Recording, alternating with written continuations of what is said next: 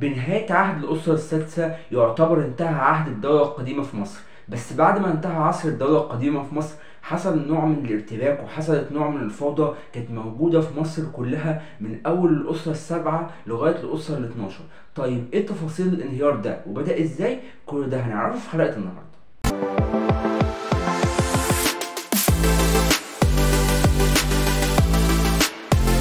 أهلا بكم يا جماعة في حلقة جديدة من قناة King History القناة اللي بنتكلم فيها عن كل الحضارات من بدايتها لنهايتها والنهاردة إن شاء الله هنبدأ كلامنا عن واحدة من أهم الفترات اللي عدت على مصر بعد نهاية الأسرة السادسة وهنتكلم بالتحديد عن نهاية الأسرة السادسة وبداية الأسرة السابعة. ولما نبدأ كلامنا عن نهاية الأسرة السادسة مش هننسى طبعا نتكلم عن أهم ملك حكم مصر في آخر عهد الأسرة السادسة واللي بدأ فيها الانقلاب والفوضى اللي حصلت في مصر كلها وهو الملك ميرن رع الثاني والملك ميرن رع الثاني حكم مصر بعد نهاية فترة حكم الملك بيبي الثاني اللي استمرت حوالي 94 سنة وده كان الفرعون السادس في الأسرة السادسة. وحسب ما بتوضح بردية تورين اللي بتبين كل الحكام اللي حكموا مصر في العهد الفرعوني كله من أول الدولة القديمة وعصر ما قبل الأسرات لغاية الاحتلال الفارسي لمصر بتوضح إن الملك ميرين رع الثاني حكم مصر سنة واحدة بس واتعثر على مقبرته في هرم أو بالقرب من هرم نيل.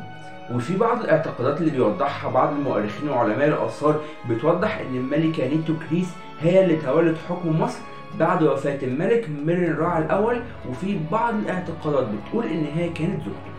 وبعد ما انتهت فترة حكم الملك ميرين رع الثاني انتهت فترة حكم الأسرة السادسة رسميا في مصر.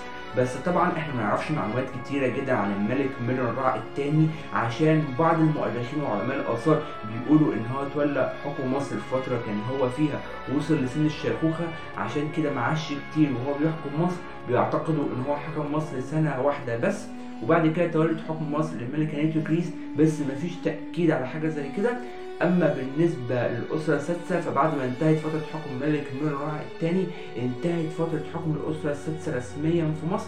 وهنبدا دلوقتي نتكلم عن الأسرة السابعه والأسرة السابعه هي أول أسرة حكمت مصر في الفترة الانتقالية الأولى أو في فترة الاحتلال الأول وتولد حكم مصر في القرن ال 22 قبل الميلاد. وبدأت فترة حكم الأسرة السابعه لمصر من سنة 2181 قبل الميلاد وحسب اللي تم ذكره في المصادر التاريخية والمؤرخين إن أول ملك حكم مصر من الأسرة السبعة كان نفر كارع الأول.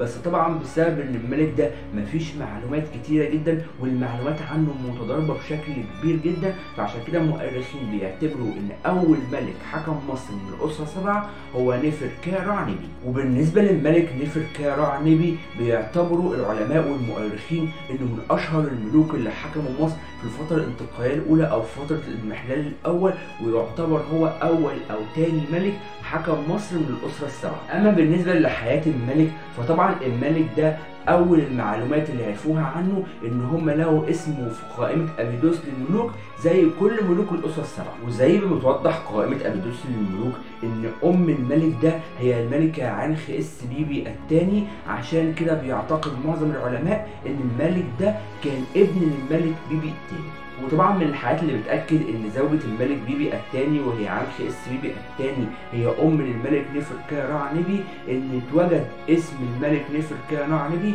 موجود على نقوش المعبد الجنائزي اللي كان موجود في جدران المعبد أو اللي كان موجود جوه المعبد نفسه كان موجود من ضمن نقوش المعبد اسم الملك ده. ومن الحاجات اللي قدروا علماء الاثار إن هم يتوصلوا لها عن الملك نفر كارع نبي إنه كان بيحاول أو بيخطط انه يبني هرم في منطقة سقارة بس للأسف الوقت ما ساعدوش إن هو يبني هرم في المنطقة دي بس كان في تخطيط لبناء الهرم ده. وكده يا جماعة نكون وصلنا لنهاية حلقة النهارده وأنا عارف إن حلقة النهارده مش طويلة بس أنا بحاول على قد ما أقدر إن أنا أجمع لكم فترة الاضمحلال الأول اللي عدت على مصر في حلقات متتابعه وإن شاء الله هتلاقوا كل اللينكات بتاعتي تحت في ال description وبداية من بكرة هنرجع لحلقاتنا اللي بتكون عبارة عن صور فرعونية ومزيكا والمعلومات. وإن شاء الله أتقابل معاكم على حلقة جديدة. سلام عليكم.